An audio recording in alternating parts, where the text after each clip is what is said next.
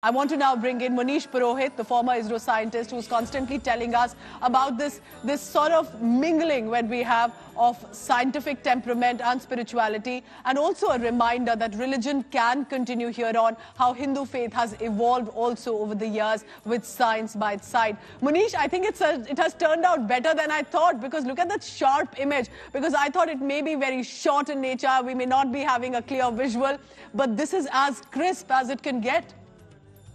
Yeah, actually, uh, physics can explain it in a very simple terms that when a ray of light passes through a medium and there are so many particulate matters, here that is the smoke from the lit up diyas that made that thing more mystical. It's it looks like that the laser sharp beam is coming from the forehead of Ram Lala and it is going towards the sun. It just looks the other way around instead of mm. from the sun rays coming to the forehead. Now, when we look at this beam, that mm. perfect texture of the beam is because that whole area where this whole thing is in the Garbhagriha, there they are doing the puja. Because of that, the smoke has filled up that area and that makes that path of the light visible. We call it Tyndall effect. It's taught in our NCERT textbooks of the science in class 8th and 9th that this is the effect that, that makes the path of the light visible. And we can see that that has added up to the, the whole, you know, that feeling, that thing, it has added up everything and it has given us such a mystical feeling that right now the ray of light is not coming from the sun to the Ramlala, rather it is going from the Ramlala towards the sun, like a laser that being pointed upwards because I didn't look at that. It, uh, now, now, now that you say it, if you actually look at the Ram Lala, it actually does look like if it's getting reflected, emanating from the Ram Lala onto the world. And that's what perhaps faith does. That's what science, when it meets spirituality, it is that interaction that you feel. And I'm sure many devotees are uh, feeling what you have described as well. Munish, do also tell us what is the reason, and it must be a very strong beam of the sun rays. How would you then ensure that it does not impact the deity, that it it, when it hits, when it graces the forehead, that it is very light in nature. Do you think that also must have been planned out in the in the apparatus and the system that was designed? Surely, surely, it has to be taken care of because, as we I have told earlier, that when we are focusing using a lens, then we are creating an image. So when we are creating the image of sun, this means we are intensifying a particular spot with a lot of energy. So here that has to be taken care of. The system of lenses that have been used, they have been designed so that they will bring down the intensity. It shouldn't be as intense as it is because higher the intensity, it can damage the structure, the surface where it is being pointed, where it is getting focused because at that spot we are seeing exactly the image of the sun because lenses create the image of the source. Here, the source of the light is sun. Means we are creating an image, a sharp image of the sun on the forehead of Ram Lala. But we can't allow that much of energy hitting that small area because that can damage the surface. So that has been that has to be taken care of in the design.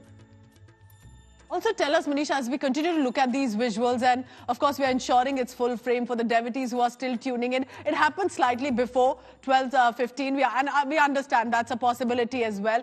But look at how crisp, as we were told about between 50 to 70 millimeter of the circular image that will come. It's a sharp crisp, but also, Munish, for, for many who may not know, that the last mirror or the last lens is, is even if on the ground floor in the sanctuary, Sanctorum is, is quite a few, it's a distance away. And still to ensure that when it hits, it has to hit at that exact spot. And that is where the science also comes in. Do tell us that when, when we talk of scriptures, why is this such a Surya Abhishek that is of such significance rather than, you know, when we do put a tilak on the deities, that Surya Abhishek has its own share of significance as well in, in cultural and religious terms? Uh, yeah, actually, astronomy and rather the term astrology if is used, it is having roots deep down, down back to the thousand years. We yes. have been following the celestial uh, apparatus, the celestial arrangement of different planets, stars, our sun. Our sun is a star and different stars. If you go to Egypt and look at the pyramids, they are aligned in such a way that there is a constellation called Orion. So the pyramids there are made in such a way that they point towards the three stars of the Orion. If we go to Ireland, there is a, a setup there where on the winter solstice, the sun exactly shines on the doors. So it's like that this has been followed from the ages. They have been following the sun. Why? Because we know this, that sun is the source of energy, the life on earth. We are totally and completely dependent on sun for our life to thrive. So it's just like, you know, uh, we are paying our bid the the thing that that mm. the feeling that we have we are just paying that back that yes right now we know that the source is there and we design our architectures. We go back down to 1000 years back. We go to our uh, sun temple. There uh, all the three times the sun rays they uh, go and anoint the deity there are sun dials there. In our jantar mantar we use the solar rays Correct. for finding the time exactly. So we have been doing this. So it is of very prime importance just because the reason is that sun thrives the life on planet. Without sun and with that perfect alignment that we have in our orbit the inclination it wouldn't have been possible Manisha made a very important point because astronomy for many other countries could have actually emerged in still the modern era. But uh, specifically when it comes to the Hindu faith or astrologers, astronomers, this goes way back centuries as well. And their interpretation, remember at a time when you didn't have the kind of equipments you have today, and yet the understanding of those principles and theory, it's absolutely fascinating.